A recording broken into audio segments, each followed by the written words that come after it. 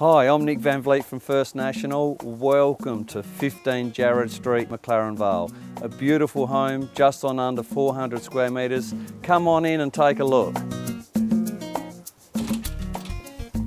So welcome on inside the home. I'm just going to talk to you briefly about the living rooms first. So we've got the formal lounge room, family room out the back with meals area and kitchen, but I'm just going to show you the formal dining room. So what makes this a really versatile floor plan, you've got a fabulous large formal dining room here with double bay windows, easily converted to a third bedroom if that was important to you.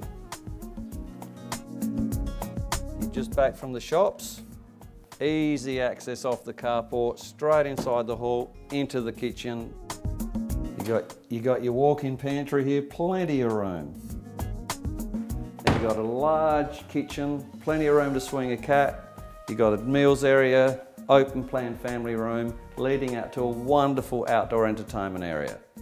So the family room steps out beautifully into the pitched roof veranda, approximately four metres by five and a half metres. Lots of outdoor entertainment area here. It's fully paved, ready for your entertaining your family and friends.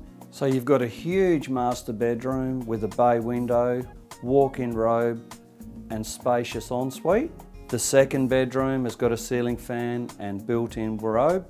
You have a three-way bathroom with separate toilet, all neat as a pin. Spacious laundry with a huge built-in cupboard. Creature comfort in the home, it's got fully ducted reverse cycle, installed only six months ago, and each of the four external doors are security doors. So you've seen the home, let me show you some of the hidden gems McLaren Vale has to offer.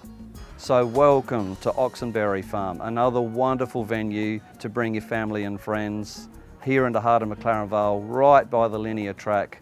Cafe, restaurant, cellar door, a wonderful place to enjoy. Just in case you're wondering what the sign's all about, according to the great granddaughter, when grandma moved in, she was a real nester. It stands for great grandma's mess. My clients built the home back in 2003 for mum. She had a wonderful time here. She's now moved on to another property. It's a genuine sale. Come through and have a look. You're gonna love it.